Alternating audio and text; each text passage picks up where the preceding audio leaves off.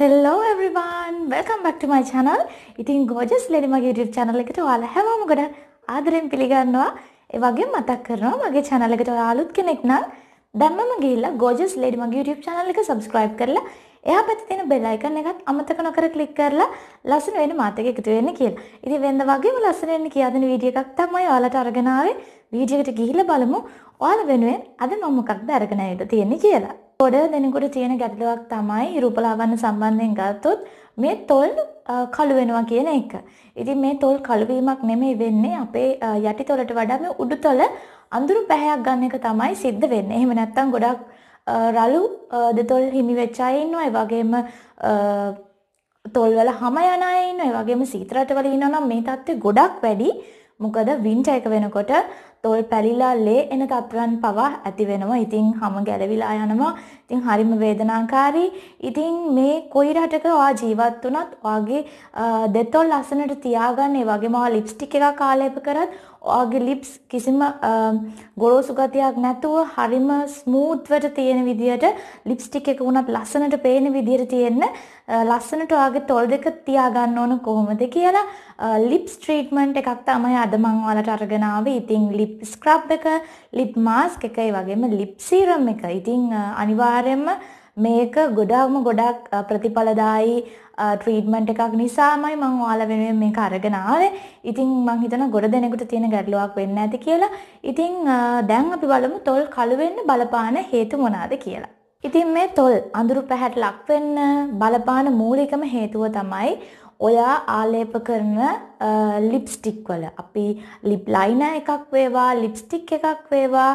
ඕනම තොල් වලට ආලේප කරන මේකප් ප්‍රොඩක්ට් එකක් ගන්නකොට හොඳ උසස් ප්‍රමිතියෙන් යුක්ත ප්‍රොඩක්ට් එකක් ගන්න ඕනේ. ඒ වගේම තමයි ඔයා මේ තොල් වලට ආලේප කරන ලිප්ස්ටික් එක ගැන වැඩි නොසලකා ඉන්න එපා. මොකද ලිප්ස්ටික් එකක්නේ කමක් නැහැ කියලා එක්ස්පයර් වුණ ලිප්ස්ටික් එකක්වත් පාවිච්චි කරන්න එපා. හොඳින් එක්ස්පයර් ඩේට් බලලා අනිවාර්යයෙන්ම ඔයා පාවිච්චි කරන ලිප්ස්ටික් එක ලිප් ලයින් එක භාවිතා කරන්න වග බලා ගන්න. ඒ වගේම තමයි ඔයා මාසකට දෙතුන් වතාවක්වත් ඔයාගේ ලිප්ස් හොඳින් ස්ක්‍රබ් කරන්න ඕනේ. ඉතින් ඔයාට මේක ඩේලි කරන්න පුළුවන් හොඳම සාර්ථකම දේ තමයි ඔයා ඔයාගේ දත් මදින වෙලාවට ඔයාගේ බ්‍රෂ් එක අරගෙන ඔයාගේ තොල් දෙකත් ලාවට ගොඩක් හයියෙන් නෙවෙයි හරිම ලාවට පොඩ්ඩක් මදින්න. එතකොට ඔයාගේ ලිප්ස් වල මේ තියෙන මැරුණු සෛල මේ බ්‍රෂ් එකේ තියෙන කෙඳි මාර්ගයෙන් ඉවත් වෙලා යනවා. ඉතින් ගොඩාක් තදින් මදින්න එපා වගේම තමයි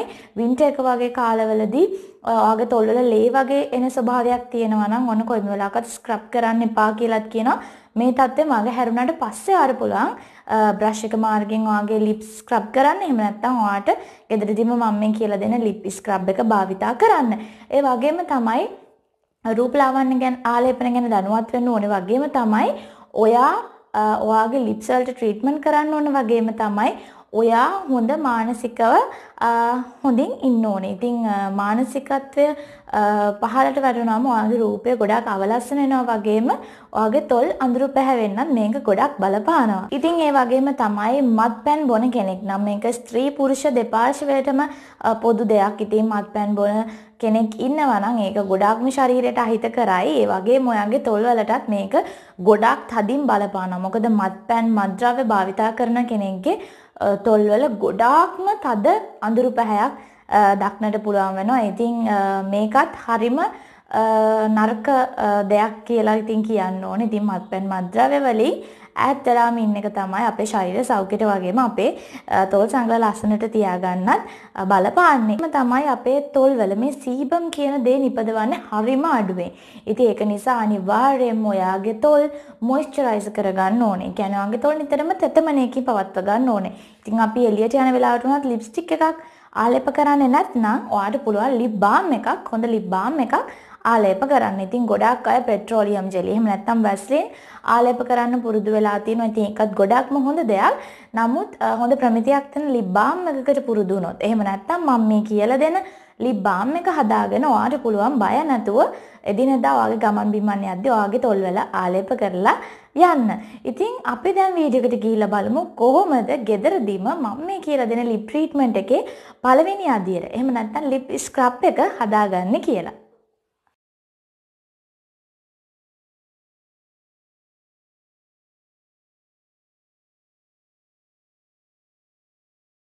ඉතින් ඔයාලා දැන් දැක්ක අපි ලිප් ස්ක්‍රබ් එක කොහොමද හදාගත්තේ කියලා. ඊළඟට අපි බලමු අපේ ලිප් ට්‍රීට්මන්ට් එකේ දෙවෙනි ස්ටෙප් එක.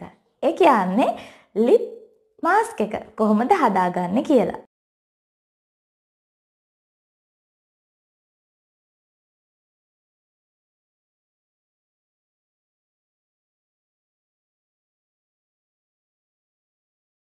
ඉතින් ලිප් මාස්ක් කොයි විදිහට හදාගත්තට පස්සේ අවසාන වශයෙන් ඔයාලට අවුරුද්දක පමණ කාලයක් වුණත් තියාගන්න පුළුවන් විදිහට ගෙදරදීම හදාගන්න ලිප් බාම් එක කොහොමද අපි හදාගන්නේ? එහෙම නැත්නම් ලිප් සීරම් එක කොහොමද අපි හදාගන්නේ කියලා දැන් බලමු.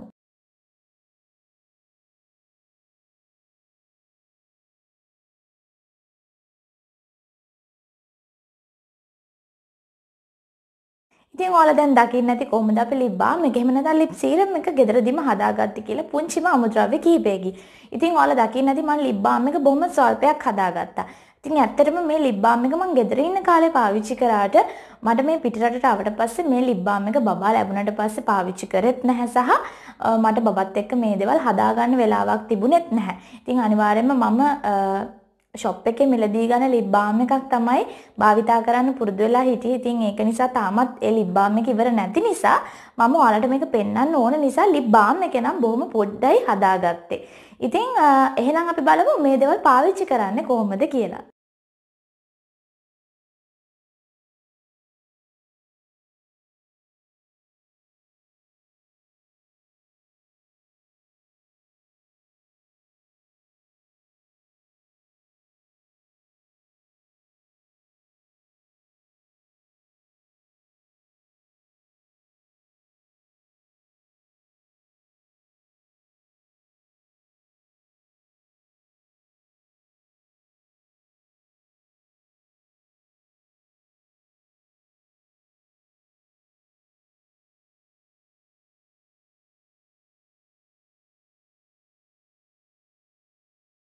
ඔන්න ඔහොම තමයි ඔයාලගේ තොල් අඳුරු වෙනවාට. කළු වෙලා තියෙනවා නම් ඔයාගේ තොල් හැම යනවා නම් තොල් වල කිසිම දීප්තිමත් බවක් නැත්නම් එහෙම නැත්නම් ලිප්ස්ටික් එකක් ආලේප කර ඔයාගේ තොල් ලස්සනට පේන්නේ නැත්නම් ඉතින් ඔයාට බය නැතුව මගේ මේ හෝම් මේඩ් ලිප් ට්‍රීට්මන්ට් එක කරාට පස්සේ ඔයාටම තේරෙයි කොහොමද ඔයාට ලැබෙන රිසල්ට්ස් කියලා. ඉතින් ඔයා ගොඩාක් ආස වෙයි ඒ වගේම ඔයා මගේ වීඩියෝස් එක දිගටම රැඳිලත් ඉඳි. ඉතින් මං හිතනවා ඔයාලා මේ වීඩියෝ එකට ගොඩක් කැමති වෙන්න ඇති කියලා. ඉතින් වීඩියෝ එකට කැමති නම් අනිවාර්යයෙන්ම මට ලයික් එකක් දෙන්න, කමෙන්ට් කරන්න. ඕනම රූපලාවන්‍ය ගැටලුවක් තිබ්බොත් කමෙන්ට් කරන්න. ඒ වගේම මගේ channel එක Gorgeous Lady subscribe කරන්න අමතක කරන්න එපා.